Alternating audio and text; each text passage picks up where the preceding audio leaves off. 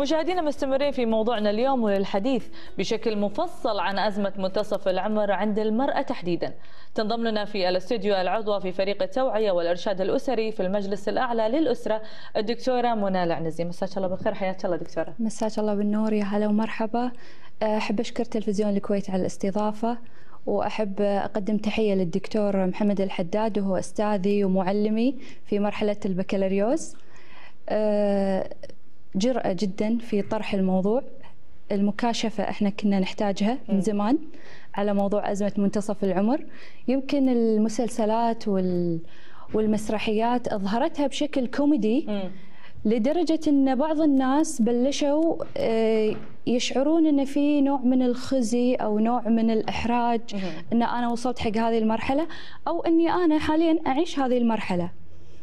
السؤال الأهم أن ما هو مفهوم أزمة منتصف, منتصف العمر؟ نعم. أو ما هي آه، مفهوم الأزمة؟ إذا إحنا بناخذها اصطلاحا هو شعور في الضيق آه، أو هو هذا الشعور في الضيق يعني يغير مجرى الحياة. إما أنه يكون لشكل إيجابي أو لشكل سلبي. آه يعني ممكن يكون له آثار إيجابية يعني مو بس سلبية أزمة منتصف العمر. بالضبط.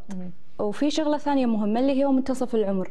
ما هي المرحلة العمرية اللي تبتدأ فيها منتصف العمر؟ م. الكثير من الدراسات اختلفت. نعم. في بعض الدراسات قالت إن هي من عمر الأربعين إلى عمر الخمسة وخمسين. وفي بعض الدراسات قالت لا من عمر الستة وثلاثين أو الخمسة وثلاثين إلى عمر الستينات. إذا إحنا نبي نمشي على هذه أو نمشي على هذه فهي مو مشكلتنا إن في أي مرحلة عمرية كثر ما إن هي شنو الأعراض اللي قاعد تظهر. وحضرتك تطرقتي لسؤال بالنسبة حق الدكتور محمد الحداد كنت أسمعه اللي هو هل الحياة اللي إحنا نعيشها التكنولوجيا والتكنولوجيا والتواصل وكل هالأمور هل هي أثرت؟ أنا من وجهة نظري الشخصيه نعم أثرت.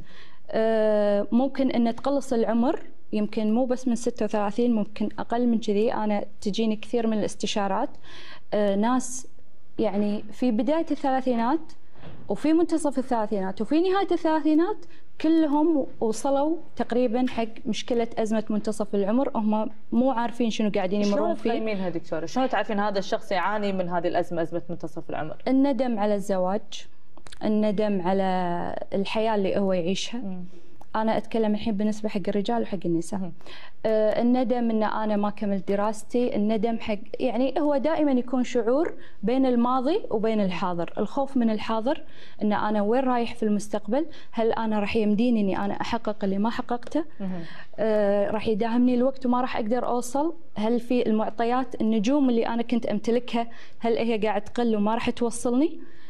والشيء الثاني البكاء على الماضي إن أنا راح من عمري كثير وما سويت. آه، قراراتي كانت خاطئة اختياراتي كانت خاطئة. أحيانا البعض يعتقد إن اختياره لشريك الحياة خاطئ. آه، مرحلة الإنجاب هم ممكن في البعض ينظر إن أنا تحملت المسؤولية في عمر مبكر. أو في إني أنا تأخرت ان أنا وصلت لعمر كبير وأنا عيالي لا زالوا مثلا أطفال صغار. فمتى بلحق عليهم؟ متى أنا راح أقدم لهم النصح المشورة؟ أكون يعني يكبرون معي فنرجع حق نقطة وايد بعيدة اللي هي التشوهات الفكرية اللي غرسها الوعي الجمعي عندنا.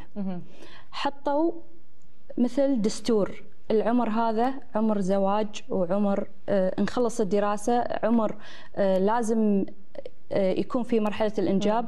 عمر أني أنا أتقاعد عمر أني أنا يكون. هذه التقسيمات اللي انحطت تسبب ضغط نفسي كبير على الإنسان. إنه هو حاس إنه هو صراع مع الزمن. هل. أنا راح ألحق إني أنا أخلص كل هذا ولا أنا ما راح أخذ هالأشياء هذه أو ما أقدر أوصل لها؟ فبالتالي أنا أكون إنسان يعني ناقص ممكن ناقص أو ما وصلت حق الصورة الكمالية مم. اللي المجتمع هو اللي فرضها ولو نرجع حق أسباب إن ليش الشخص يشعر في أزمة منتصف العمر مم. ممكن تكون الاختيارات الخطأ هي اللي وصلت حق هذا الشعور. طيب إحنا دكتورة خلينا نركز يعني على المرأة يعني آه، بشكل خاص. شلون أقدر أتصرف معاها؟ يعني في حال إنها كانت تواجه هذه الأزمة أزمة منتصف العمر آه، بالنسبة حق الأهل شلون يتصرفون معها؟ هي إيه شلون تتصرف مع نفسها في هذه الحالة؟ الاستبصار بالمشكلة 50% من علاجها. لازم يكون في ثقافة أن أنا أتعلم شنو المراحل العمرية أو المراحل الحياتية اللي أنا راح أمر فيها. مم. نفس ما أنا عندي مرحلة الطفولة وعندي مرحلة المراهقة وعندي مرحلة الشباب لازم أتعلم هذه المراحل اللي أنا راح أمر فيها شنو هي سيكولوجيتها شنو أنا الأشياء الفسيولوجيه اللي راح أحس فيها. لما أتعلم هذا كله راح يصير في عندي نوع من التقبل. لأي مرحلة أنا أوصل لها. يعني ما أعتقد الحين صار هاجس بالنسبة للنساء مثلا تغيير في الشكل لأن في يعني صرعة عالم التجميل اللي إحنا الحين نعيشه. أصبح سهل جدا إن هي تسيطر على هذه الجزئية. فعلا. آه، أكثر شيء يمكن يهددها أو يخوفها اللي هو موضوع الزواج. هل أنا وصلت حق عمر ممكن بعدها خلاص أفقد آه، فرصتي في الزواج أو فرصتي في الإنجاب؟ إن صح القول. فهذا أكثر شيء ممكن يهدد المرأة وأعتقد إن هذا يهددها من باب الوعي الجمعي. مو ضروري إن كل النساء يتزوجون ولا ضروري إن كل مره تكون أم. لو وصلنا حق هذا النوع من الفكر وهذا النوع من التقبل أعتقد إن إحنا راح نرضى ونقبل في أي شيء إحنا راح نوصل له. تعديل أفكارنا هو الأساس. يعني لا لا نقارن حياتي في حياة أختي حياتي في حياة صديقتي حياتي في حياة المشهورة اللي الحين قاعد تسبب أكبر ضغط نفسي على المجتمع. آه خصوصا نشوف بعض المشاهير في عمر صغير وصلوا وحققوا تقريبا خلاص يعني حققوا كل الإنجازات اللي الإنسان يعيش سنوات طويلة يمكن لل 60 ما يقدر يحقق نصها أو ربعها. فهذا بحد ذاته ممكن يسبب عامل ضغط نفسي كبير على الإنسان. لازم نتقبل لازم نتعلم آه، فكرة أن أنا أدرس مرحلتي والمرحلة اللي أنا مقبلة عليها. آه، لازم الوعي الجمعي كله يتغير ويبتدي يستوعب أن آه، المراحل اللي كانوا يعيشون فيها جداتنا ما عادت نفس المراحل اللي حاليا. يعني قبل يمكن ال سنة جدة كبيرة وتكون يعني ظاهره عليها مظاهر الشيخوخة اللي هي حطت نفسها فيها. ولا تنسين المرحلة هذيك كانت الحياة صعبة.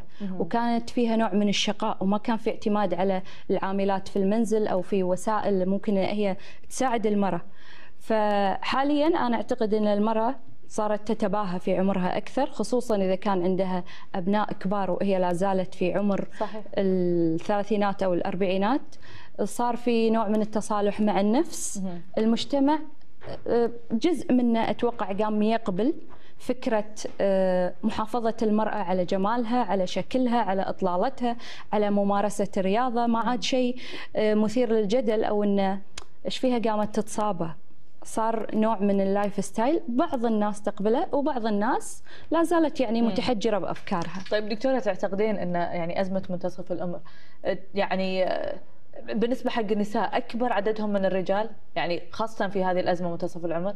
أنا أعتقد إن الرجل والمرأة يعانون من نفس نفس الشيء. يعني ما في إنه مو المرأة تعاني أكثر والرجل أكثر. لأن حتى الرجل إذا كان عنده مزايا وكان عنده منصب اجتماعي أو منصب مهني عالي وابتدى يقل هذا الشيء أو تنزل مكانته أو تقل يعني احتياج الناس له في منصبه فهو يبتدي يشعر في نوع من الإحباط ونوع من الاكتئاب ونوع من الضيقه ان أنا ما عدت شخص مؤثر في المجتمع نفس ما كنت. آه، بالنسبة للمرأة ممكن الجانب اللي تكلمنا عنه في البداية اللي هو سباق الزواج والإنجاب م. هو أكثر شيء يهددها لأن الشكل خلاص يعني صار وايد سهل أن هي تحافظ على جمالها. طيب نصيحة حابة توجهينها لي يعني للمرأة بشكل خاص يعني بالنسبة حق هذا الموضوع شلون يعني تحاول انها ما تدخل في هذه الأزمة أزمة منتصف العمر وفي حال إذا كانت تعاني من هذه الأزمة شلون تتصرف؟ نصيحة حابة إنك توجهينها أه نصيحتي لكل امرأة أن هي تستبصر أولا في هذه المشكلة. أه المكاشفة بهذه المشكلة ولازم تعرف تماما شنو المراحل اللي هي راح تمر فيها سواء كانت نفسية أو كانت من ناحية الشكل أو آه، من ناحية عضوية. الشيء الثالث وهو الأهم التقبل. لازم إحنا نتقبل. مو ضروري إن أنا أكون مساوية حق غيري في نجاحاتهم. فعلا. لازم أتعلم أكتفي وأتقبل اللي أنا وصلت له. تحد التحدي يكون مع نفسي مو التحدي مع الآخرين. مه. هذا شيء وايد راح يصلحها نفسيا وراح يخليها تتقبل مرحلتها. كل الشكر لك العضوه في فريق التوعية والإرشاد الأسري في المجلس الأعلى للأسرة. الدكتورة منى العنزي على وجودك معنا اليوم. الشكر لكم ويعطيك العافية أستاذة. شكرا لك. مشاهدينا في مراحل العمر المختلفة يعيش الواحد حالات متعددة يعني تختلف من واحد للثاني تتفاوت فيها الآثار على الفرد.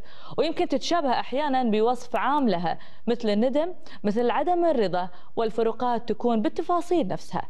ومع أزمة منتصف العمر قد تختلف وصوف الأفراد لهذه المرحلة وتختلف تجاربهم الشخصية اللي تقود لأعراض تشبه أعراضها.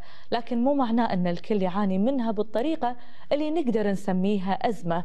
ممكن تكون مجرد حالة شعورية مرتبطة بظرف معين. تقرير ونكمل حلقتنا.